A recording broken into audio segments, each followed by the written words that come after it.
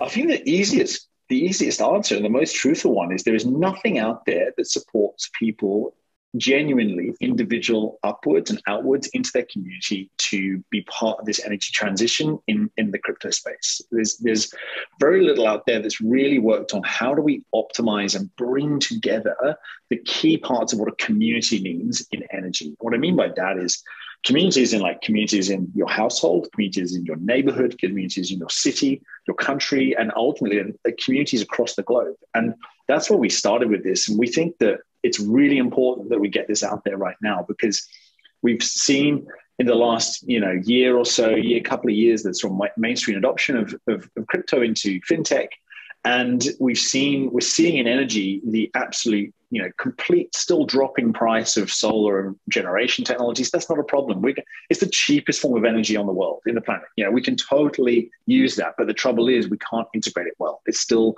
that you know there hasn't been a technology developed to really integrate it well until we developed RedGrid, until we developed IOEN. And so I think the reason why we need IOEN now, why every day people need it now, is the cheapest form of electricity you can get is from the sun.